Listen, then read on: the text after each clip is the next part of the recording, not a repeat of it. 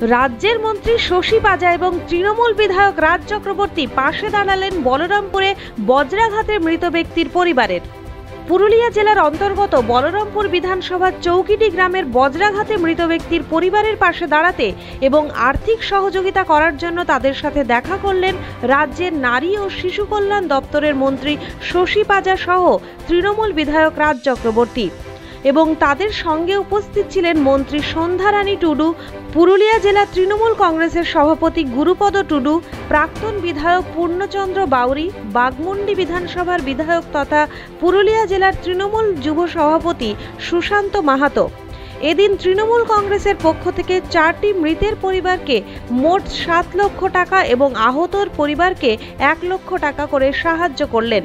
এবং তার সাথে সাথে তাদের ছেলে মেয়েদের পড়াশোনা থেকে শুরু করে সমস্ত কিছু সহযোগিতা করার জন্য মমতা বন্দ্যোপাধ্যায় এবং অভিষেক বন্দ্যোপাধ্যায় তাদের পাশে থাকবেন এরকম আশ্বাস দিলেন।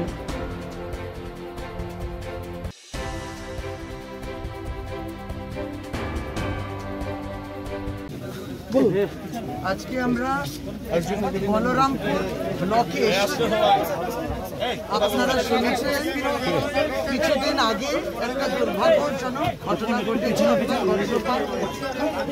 তাতে পশ্চিমবাংলায় দক্ষিণবঙ্গ জেলাতে যেমন মুর্শিদাবাদ, হুগলি, দুই মেদিনীপুর, উত্তর চব্বিশ পরগনা এবং নদিয়া।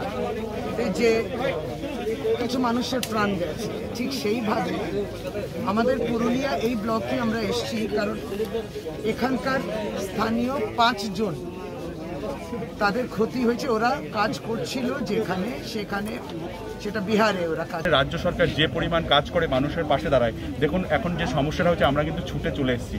এবং অভিষেক ব্যানার্জি আজকে আসতেন এখানে ওনার আগে কর্মসূচি রয়েছে, কিছু দলীয় কর্মসূচি, তার জন্য উনি আসতে পারলেন না।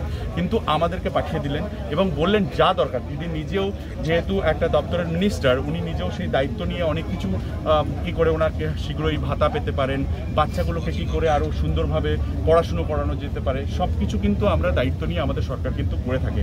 আমার মনে হয় যে অন্যান্য অন্যান্য স্টেট বা আশেপাশে যে স্টেটের কথা বলছেন, সেই স্টেটে কিন্তু একটা মানুষ যেখানে মারা গেছে, তাকে দায়িত্ব নিয়ে একটু অন্য স্টেটে পাঠিয়ে দেওয়া সেটা অবধি করেননি, শুধু তাই নয়, এবং তাকে একবার খোঁজখবর নেননি যে সেই স্টেটে যে যিনি আঘাত পেয়ে মারা গেছেন, তার পরিবার কেমন আছে।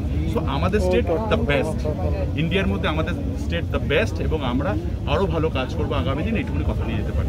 পুরুলিয়া থেকে সত্যজিৎ ব্যানার্জির রিপোর্ট টাইমস বাংলা।